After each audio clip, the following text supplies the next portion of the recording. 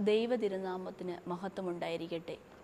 കർത്താവിനാൽ അനുഗ്രഹിക്കപ്പെട്ടവരെ നാം പകുതി ബുധനാഴ്ചയിലേക്ക് എത്തിച്ചേർന്നിരിക്കുകയാണ്. നാം നോമ്പിന്റെ യാത്രയിലൂടെ കടന്നു പോകുമ്പോൾ നോമ്പ് എന്താണ് എന്ന് നാം മനസ്സിലാക്കണം. നോമ്പ് ഒരു പാതേയമാണ്. ജീവിതത്തിന്റെ കനൽ വഴികളിൽ നമ്മെ ബലപ്പെടുത്തുന്ന ആത്മീയ പാതേയമാണ് നോമ്പ്. പാതേയം എന്ന വാക്കിന് വഴിച്ചോറ് അഥവാ പൊതിച്ചോറ് എന്നാണ് അർത്ഥം. ജീവന്റെ ഉറവയായ ക്രിസ്തുവിങ്കലേക്ക് നാം നടന്നടുക്കുമ്പോൾ അവൻ നമുക്ക് പങ്കിട്ട് നൽകുന്നത് അവന്റെ ശരീരവും രക്തവുമാണ്. അവന്റെ ജീവനെ തന്നെ നമുക്ക് വേണ്ടി നൽകുകയാണ് ചെയ്യുന്നത്. ഈ യാത്രയിൽ നമ്മെ ശക്തിപ്പെടുത്തുന്നത് ആത്മതപനത്തിന്റെ ഉത്കൃഷ്ടങ്ങളായ നോമ്പും ഉപവാസവുമാണ്. അഹംഭാവത്തെ തള്ളിക്കളയുവാനും അവയെ തച്ചുടച്ച് അവയെ ത്യജിച്ചുകൊണ്ട് ജീവിക്കുവാനുള്ള വഴിയായിട്ടാണ് നാം ഇതിനെ കാണുന്നത്. ഞാൻ എന്ന ഭാവത്തെ അകറ്റി നമ്മെ അപരോന്മുഖമാക്കുന്ന ഒരു അനുഭവമായി ഇതിനെ മാറ്റിയെടുക്കുകയാണ്. പൗരസ്ത്യ സബ് പൗരസ്ത്യ ആരാധനാ പാരമ്പര്യത്തിൽ പകുതി നോമ്പ് ജീവനെ അന്വേഷിക്കുന്ന യാത്രയിലെ ഒരു അനുസ്മരണ ശുശ്രൂഷയായിട്ടാണ് നാം കാണപ്പെടുന്നത്. ഇതൊരു ഓർമ്മപ്പെടുത്തലാണ്. വീണ്ടെടുക്കപ്പെട്ടവരുടെ ഓർമ്മപ്പെടുത്തൽ. പഴയ നിയമ പുസ്തകം നാം പഠിക്കുമ്പോൾ പഴയ നിയമ പുസ്തകത്തിൽ ഇസ്രായേൽ ജനത മറുതലിപ്പിന്റെയും തിരസ്കരണത്തിന്റെയും അനുഭവത്തിലേക്ക് കടന്നു പോകുകയും അങ്ങനെ ചെയ്തപ്പോൾ അവർ അഗ്നിസർപ്പത്തിന്റെ കടിയേറ്റ് മരിച്ചു വീഴുകയും ചെയ്തു. ദൈവജനത്തിന്റെ വിമോചകനായ മോശ ദൈവ യഹോവിയായ ദൈവത്തിന്റെ കൽപ്പന പ്രകാരം മരുഭൂമി താമ്രസർപ്പത്തെ ഉയർത്തുകയും അവയിലേക്ക് നോക്കിയവർ രക്ഷ പ്രാപിക്കുകയും ചെയ്തതുപോലെ ഇവിടെയും ദൈവപുത്രനെ ഉയർത്തപ്പെടുകയാണ്. ആ അനുഭവത്തിലൂടെ ഒരു പുതുക്കലിന്റെ അനുഭവത്തിലേക്ക് നാം എത്തിച്ചേരുകയാണ് ചെയ്യുന്നത്. വിശുദ്ധ യോഹന്നാന്റെ സുവിശേഷം മൂന്നിന്റെ പതിനാലിൽ ഇപ്രകാരം നാം വായിക്കുന്നുണ്ട്. മരുഭൂമിയിൽ മോശ സർപ്പത്തെ ഉയർത്തിയതുപോലെ മനുഷ്യപുത്രനെയും ഉയർത്തേണ്ടതാകുന്നു. ദൈവത്തിന്റെ കൽപ്പനയനുസരിച്ചാണ് മോശ താമ്രസർപ്പത്തെ ഉയർത്തിയത് എങ്കിൽ അതിലേക്ക് നോക്കി രക്ഷ പ്രാപിച്ചവർ അനേകരെങ്കിൽ അതേപോലെ തന്നെയാണ് മനുഷ്യപുത്രനെ ഉയർത്തുകയും അവങ്കിലേക്ക് നോക്കിയവർ പ്രകാശിതരായി അവർ രക്ഷ പ്രാപിക്കുകയും ചെയ്തു എന്ന അനുഭവത്തിൽ അനുഭവത്തിലേക്ക് എത്തിച്ചേരുന്നു എന്ന ആ അനുസ്മരണ ശുശ്രൂഷയെ വിശുദ്ധ വേദപുസ്തകം ചരിത്ര പ്രാധാന്യമായി ഉൾക്കൊണ്ടുകൊണ്ടാണ് പകുതി നോമ്പിൽ വിശുദ്ധ ദേവാലയത്തിന്റെ മധ്യത്തിൽ നാം ഗോകുൽത്ത നാട്ടപ്പെടുന്നത്. ഇനിയും ഈ നോമ്പ് നമ്മുടെ ജീവിതത്തിൽ ഉണ്ടാക്കേണ്ടതായ ചില കാര്യങ്ങൾ നാം ഇവിടെ വ്യക്തമാക്കുകയാണ്. ഒന്നാമതായി നോമ്പ് നമ്മെ അനുസ്മരിപ്പിക്കുന്നത് ഇതൊരു പുതുക്കത്തിലേക്കുള്ള യാത്രയാണ്. ശരികളെ അന്വേഷിച്ച് ചില തെറ്റുകളെ തിരിച്ചറിയുന്ന തിരുത്തലിന്റെ യാത്ര.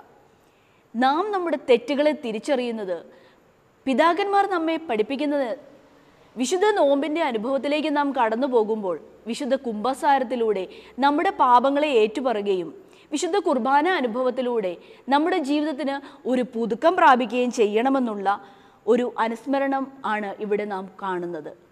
അങ്ങനെ നാം ചെയ്യുമ്പോൾ മരണ സംസ്കാരത്തിൽ നിന്നും ജീവസംസ്കാരത്തിലേക്കുള്ള ഒരു പറിച്ചുനടലിന്റെ യാത്രയായാണ് ഇത് നാം കാണുന്നത്. പാപത്തിന്റെ മലിനതകളിൽ നിന്നും വിശുദ്ധിയുടെ സോപാനത്തിലേക്കുള്ള ഒരു കുതിക്കലിന്റെ യാത്ര.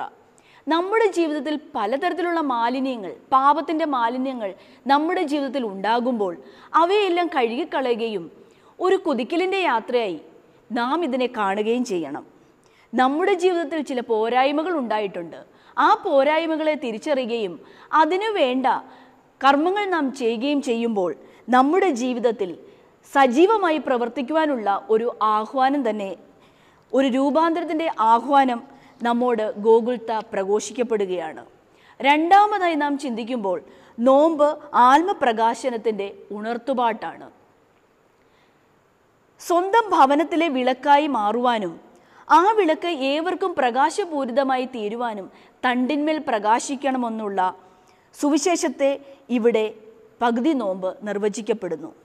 വിശുദ്ധ യോഹന്നാൻ മൂന്നിന്റെ പത്തൊമ്പതിൽ ഇപ്രകാരം പറയുന്നുണ്ട് അന്ധകാരത്തെ സ്നേഹിക്കുന്ന മനുഷ്യനെ ശിക്ഷാവിധി പൊതിയുന്നു എന്ന്. ഇന്ന് നാം പലതരത്തിലുള്ള അന്ധകാരത്തിന്റെ അവസ്ഥയിലേക്ക് പോയിക്കൊണ്ടിരിക്കുകയാണ്. സഹോദരന്റെ വീഴ്ചയിൽ നാം സന്തോഷിക്കുകയും അപരന്റെ ദുഃഖത്തിൽ നാം സന്തോഷിക്കുകയും ചെയ്യുന്ന ഒരനുഭവത്തിലേക്ക് എത്തിച്ചേരുകയാണ്. നമ്മുടെ ജീവിതത്തിൽ തന്നെ പലതരത്തിലുള്ള അന്ധകാരങ്ങളുണ്ട്. നമ്മുടെ ജീവിതത്തിൽ നമ്മുടെ സമൂഹത്തിൽ എല്ലാം നാം നമ്മുടെ അന്ധകാരത്തിന്റെ രൂപാ അന്ധകാരത്തിന്റെ അവസ്ഥയിലേക്ക് എത്തിച്ചേരുകയും അതിലേക്കുള്ള ഒരു രൂപാന്തരത്തിലേക്ക് എത്തിച്ചേരാതെ ആ അന്ധകാരത്തിൽ തന്നെ കുടുങ്ങി ജീവിക്കുകയും ചെയ്യുന്ന ഒരനുഭവത്തിലേക്ക് എത്തിച്ചേരുന്നു.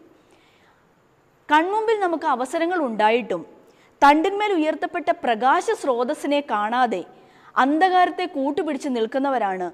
അങ്ങനെയുള്ളവർ ഒരു ആത്മപരിശോധനയ്ക്കായി തയ്യാറാകണമെന്നുള്ള കണ്ണാടിയായാണ് നോമ്പിനെ നാം കാണേണ്ടത്. ഉറങ്ങുന്നവനെ നീ ഉണർന്ന് മരിച്ചവരുടെ ഇടയിൽ നിന്ന് എഴുന്നേൽക്കുക. എന്നാൽ ക്രിസ്തു നിന്റെ മേൽ പ്രകാശിക്കും. ഇന്ന് നാം ഉറങ്ങുന്ന അവസ്ഥയിലേക്കാണ് ഉറക്കം നടിക്കുന്ന അവസ്ഥയിലേക്കാണ് ലോകത്തിന്റെ മായ ഇമ്പങ്ങളിലേക്ക് നാം നമ്മുടെ ജീവിതത്തെ കൊണ്ടുപോകുമ്പോൾ നാം ഉറങ്ങുന്ന അവസ്ഥയിലേക്ക് എത്തിച്ചേരുകയാണ്. അല്ലെങ്കിൽ ഉറക്കം നടിക്കുന്ന അവസ്ഥയിലേക്ക് എത്തിച്ചേരുകയാണ്. അതിൽ നിന്ന് രക്ഷ പ്രാപിക്കുവാൻ തക്കവണ്ണം തമ്പുരാൻ നമ്മോട് പറയുന്നത് നീ അതിൽ നിന്ന് എഴുന്നേറ്റാൽ മാത്രമേ നിന്റെ മേൽ ദൈവത്തിന്റെ ശക്തി പ്രകാശിക്കത്തുള്ളൂ. എഫ് എ സി അഞ്ചിന്റെ പതിനാലിൽ പരിശുദ്ധനായ പൗലോസ് ലേഹായാണ് നമ്മെ ഇത് ഓർമ്മിപ്പിക്കുന്നത്. നമ്മുടെ ജീവിതത്തിൽ നഷ്ടപ്പെട്ട നന്മകൾ അത് തിരിച്ചറിയുവാനും മറന്നുപോയ നീതിയെ വീണ്ടെടുക്കുവാനുമുള്ള ഒരു അവസരമായി നാം നോമ്പിനെ കാണണം. അങ്ങനെ നാം നമ്മുടെ നോമ്പിനെ കാണുകയും നമ്മുടെ ജീവിതത്തിൽ പുതുക്കത്തിന്റെയും രൂപാന്തരത്തിന്റെയും ആത്മവിശുദ്ധിയുടെയും ഒരു അവസരമായി നമ്മുടെ ജീവിതത്തെ മാറ്റിയെടുക്കുമ്പോൾ നമ്മുടെ ജീവിതത്തിൽ ഒരു പ്രകാശത്തിന്റെയും നീതിയുടെയും സൽപ്രവൃത്തികളുടെയും നിലയ്ക്കാത്ത ജീവ ഉറവ നമ്മിൽ രൂപപ്പെടുകയും ചെയ്യും. അങ്ങനെ നമ്മുടെ ജീവിതത്തിൽ ഈ ജീവ ഉറവ രൂപാന്തരപ്പെടുവാൻ തക്കവണ്ണം ഈ പരിശുദ്ധ നോമ്പ് നമ്മിൽ ഇടയാകട്ടെ എന്ന് പ്രാർത്ഥിച്ചുകൊണ്ട് എല്ലാവർക്കും ദൈവത്തിന്റെ അളവറ്റ കൃപകളും നന്മകളും ആശംസിച്ചുകൊണ്ട് ഉയർപ്പിന്റെ അനുഭവത്തിൽ നമ്മുടെ ജീവിതത്തെയും രൂപാന്തരപ്പെടുത്തുവാൻ തക്കവണ്ണം പരിശുദ്ധ ആത്മാവ് നമ്മെ സഹായിക്കട്ടെ എന്ന് പ്രാർത്ഥിച്ചുകൊണ്ട് ഞാൻ എന്റെ വാക്കുകൾ ഉപസംഹരിക്കുന്നു. ദൈവം എല്ലാവരെയും അനുഗ്രഹിക്കട്ടെ.